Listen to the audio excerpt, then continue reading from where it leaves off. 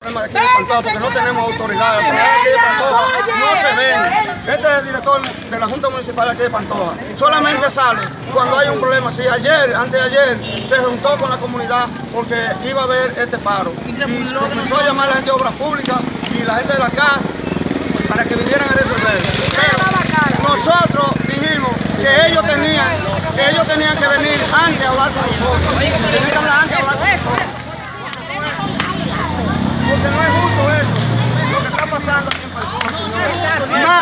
más de, de 20 años.